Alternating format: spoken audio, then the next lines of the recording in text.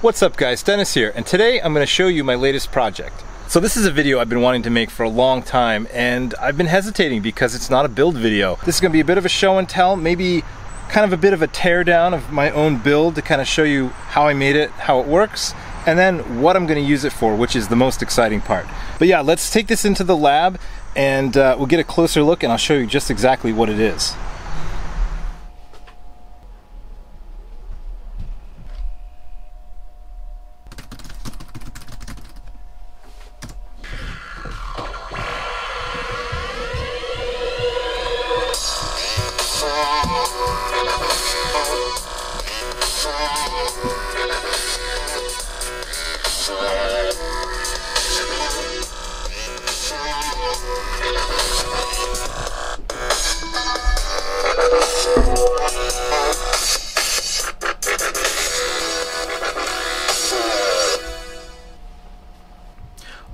Right, now I know what you're thinking,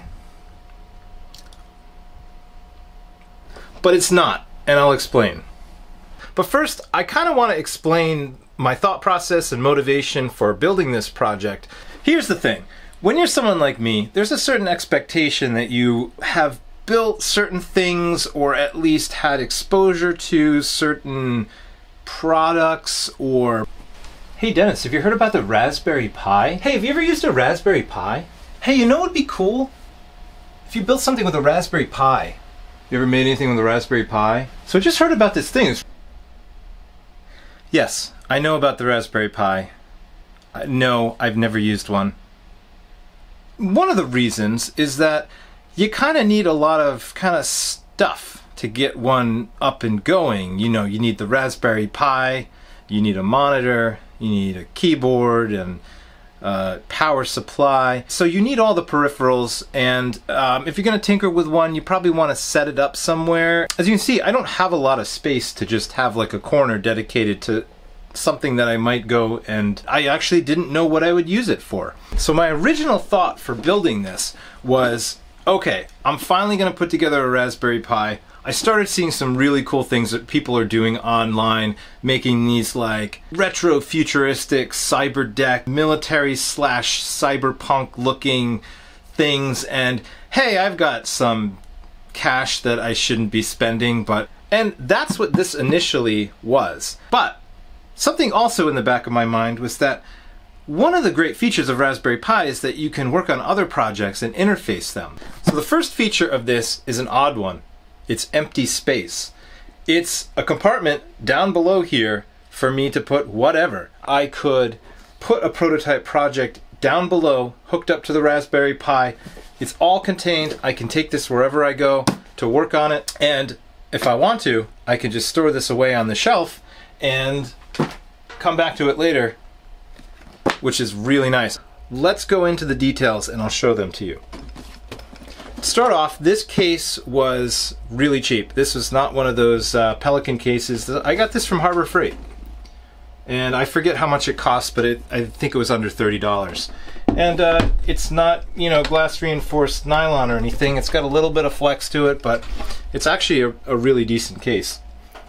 Okay, another what I would consider a feature and a motivating factor for this project was this right here. This is the Raspberry Pi 400 it's a Raspberry Pi built into a keyboard. And that already simplifies a project like this where now I don't have to go sourcing a separate keyboard and then figuring out how to fit a keyboard with a Raspberry Pi somewhere. All the main computer electronics is, is all in here. The heatsink, um, it's all within this keyboard. So I just need to mount the keyboard and I'm already halfway there. Uh, let's talk about the screen. The screen is where I spent my money. I actually ordered a few different LCD screens from Amazon and I kept the one that looked the best. And it ended up being the most expensive one too.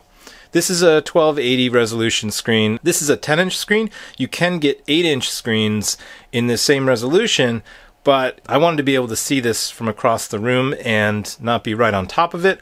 So I went with the 10 inch screen because it just is a better viewing experience, I think. Now the way I built it into this is this panel right here, and I'll take this off in a second. It's an aluminum panel that I made actually from this.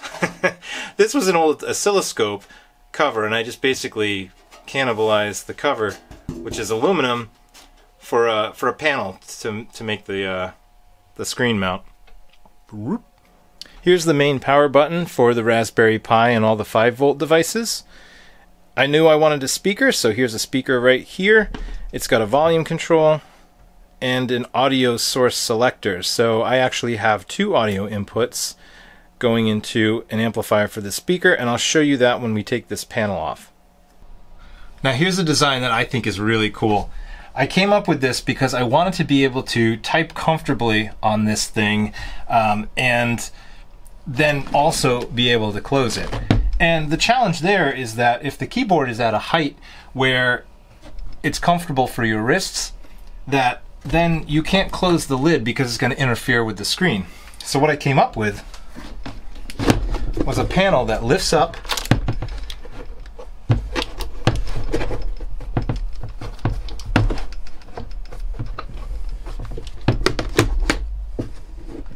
It can rest on these uh, little brackets here so it's at a raised height. Makes it super comfortable to type on.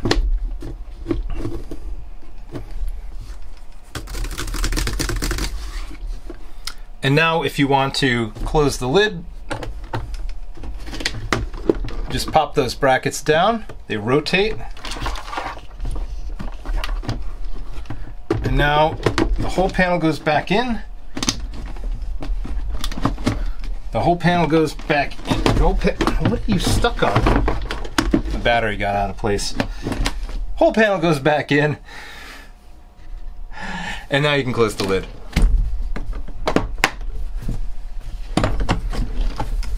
Again, this lifts out. Brackets flip up.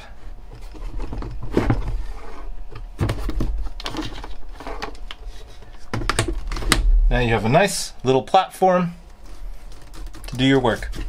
The nice, the other nice thing about this uh, is that there's a little bit of a gap. With this raised up, it actually allows some airflow in here. So there's a gap all the way around the bottom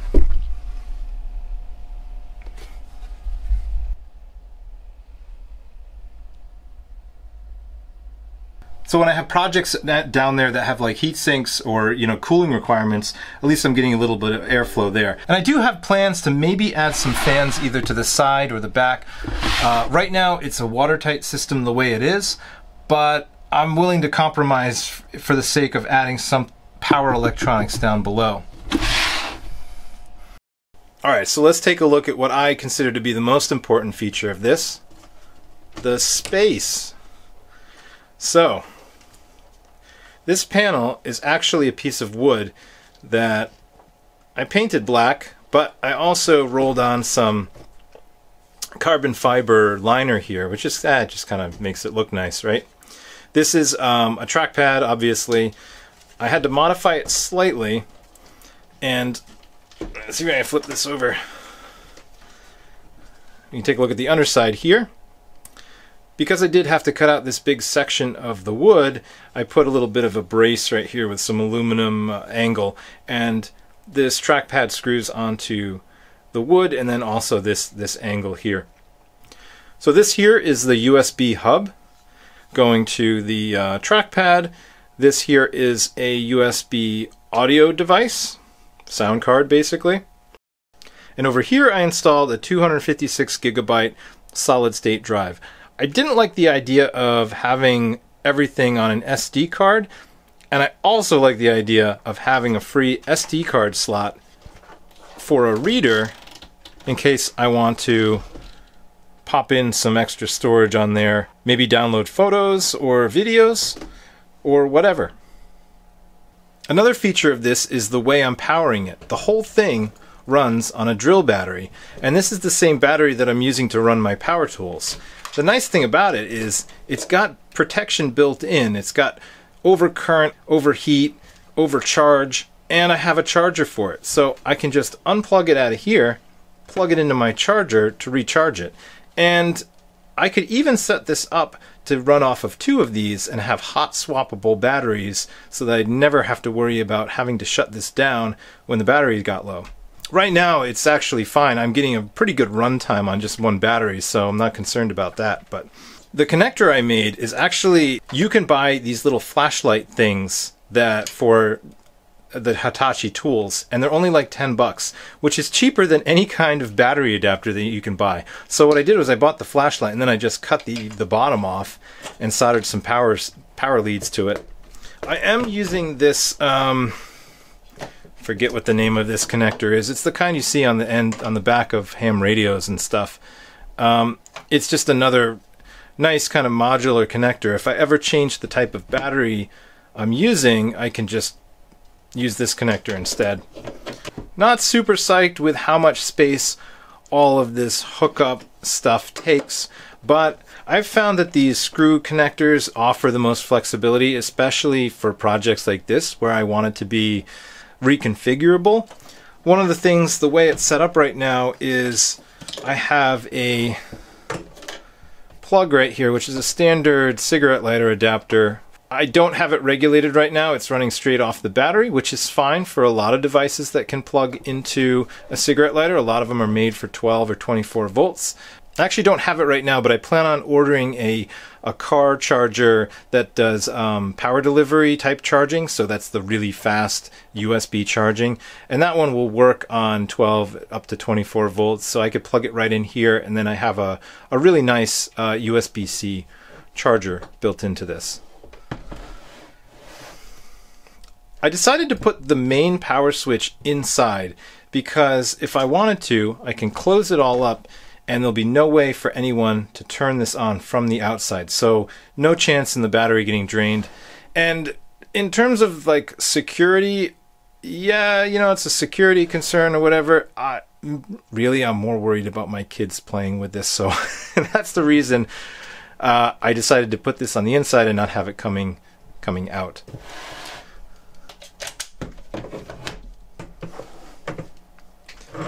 For monitoring the battery, I have this little voltmeter right here.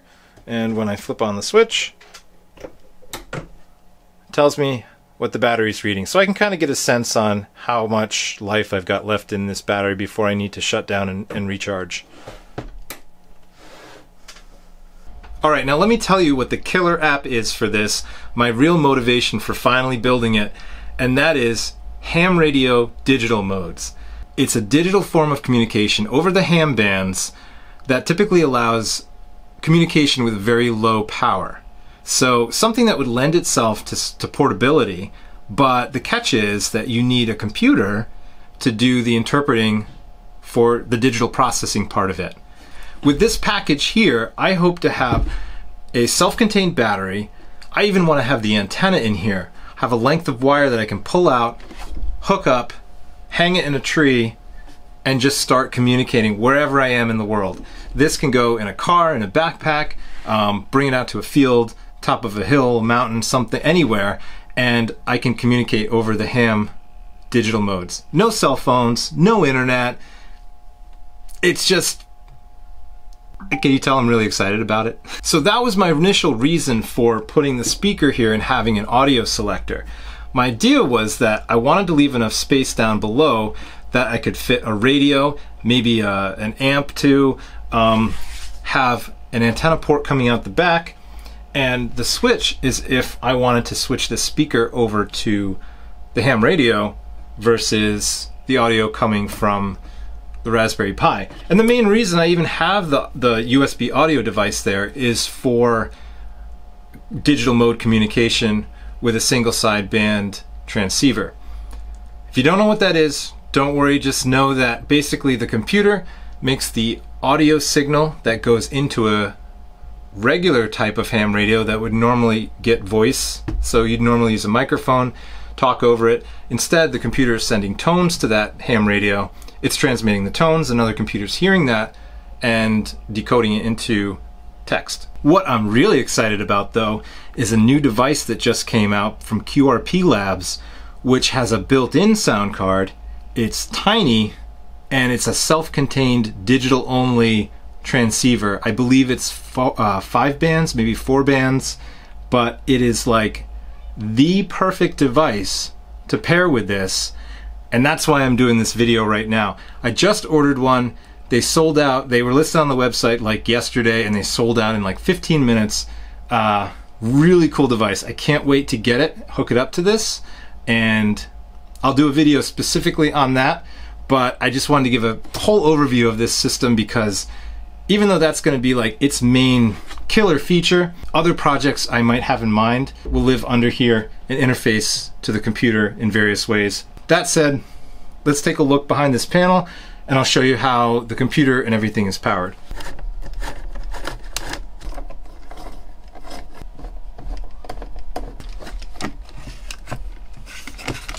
All right, and one of the nice things about this case from Harbor Freight is that you do get these four little mounting points. I don't think I drilled these out at all. I think they just basically matched up pretty well to a 1024 thread screw, which is the what I'm using right here. Um, to keep these screws in place, as I put this up here, I did make um, some little retainers here. I don't know if you can see that. It's basically just uh, some aluminum tube that I had, but I squirted some hot glue in here just to kind of keep them on the uh, the screw, keep them captive there. Sometimes they they come out and I just have to kind of tighten them back in, but that was the only way I could get all four lined up in place to, to screw this down. But um, yeah, let's take a look behind the panel here. All right, so the power from the battery comes up here through this switch and into the DC to DC converter. Um, this is a pretty nice converter. I got this off of Amazon. It's using the XL Semi chip, XL4015 it says on this chip here. Uh, pretty standard design, but it's a nice DC to DC converter. I tested it on my bench before and uh, did well with a with a pretty decent load. So this is stepping it down to 12 volts because that's what the LCD wants to see. And the nice thing about this LCD is actually is advertised as compatible with the Raspberry Pi because it can output enough current from its USB um, port right here to drive the, the Pi and other peripherals and stuff, which is nice. So, and I'm actually tapping off of this 5 volts to run the audio over here. So this is um, a really nice, it's a PAM 8302A um, little two and a half watt class D amplifier from Adafruit. And it runs off 5 volts so the two audio sources that I can switch between come from these two wires here, and they go down below to some three and a half millimeter jacks. This switch right here is a double pole, double throw that switches both the left and right channel so I can select between you know source one and source two. The output of this goes first to a headphone jack, so I have the option of plugging a headphone into here instead, and um, and listening that way. If there's nothing plugged into the headphone jack, the circuit's completed to go here, which is basically I've got, you can't see it in here, but there's a couple resistors right here forming um, a bridge that mixes the two left and right channels down to mo mono. So this is a mono, I mean, it's only one speaker, obviously. This is a mono amplifier. So this um, mixes them equally so you have both left and right going into to this speaker here. I did want to incorporate the volume control for both the headphones and the amp. It I just couldn't. The way the amp needs to see this um, this resistance and it it became very complicated. I just um, unfortunately was not able to add the volume control in before the um, headphone jack. All right, so that's it for the back panel here. Um, this 5 volt goes through this cable down here to a USB-C connector for the Raspberry Pi, and I'll just show you what the connections are on the back of the Pi 400. Hopefully not break everything. All right. And here's that power cord right here. It's a USB-C input to the Raspberry Pi. Uh, this is a micro HDMI for the LCD screen. Right, so this USB is the um, Type 3 or 3.1. So we're using that for the SSD drive, of course. And then this is a standard USB 2.0 port. So this is going to the USB hub down below. So one tip about using that little two and a half watt audio amplifier from Adafruit, I really like it. It's a really nice, compact Class D. The sound quality is perfect for a little speaker like this or some headphones. Certainly not high fidelity, but I did run into one issue with hum, and that had to do with grounding. I thought I was going to be clever by separating the ground from the audio and the power supply, and I thought that would be a cleaner setup. It's not. You have to ground both your audio connection in with your DC supply ground voltage. I thought it was a limitation of the chip and was really annoyed by it. And then when I figured out that it was just a grounding issue, it sounds great. So happy with it. So Oh, so another feature I didn't mention is that this board has magnets embedded in it where it contacts these little brackets. And my thought was that when the brackets are down, I wanted it to stay down and I didn't want this whole board to come flopping up and hitting the LCD screen or anything up above here. The way I ended up making this, it kind of ended up being a non-issue because it does have a snug fit within the case. So when I push it down, it, it doesn't have a tendency to move around that much. It kind of just sticks down in, in there. Um, but I do think the magnets help just a little bit. And it does help, surprisingly, from the whole thing shifting around when you have it in this mode here. So it's um, it's really nice and stable and the magnets kind of keep it centered. You kind of hear kind of hear them clicking when when when they get into position. So um, yeah, so that's the other clever piece of this system. Put it back in this configuration and I can still use it this way. It's um, certainly you can still type on here. You can use the trackpad. It's just a little bit uncomfortable and not ideal for ergonomics the way it's recessed under this uh, this lip here, but but it works. All right, so I think that's all I had for you today. That's I think that's all I wanted to show for this. Um, like I said, I'm gonna have other future projects using this, and certainly the ham radio one is going to be top of list. Um, I'll certainly do a video first time getting on air.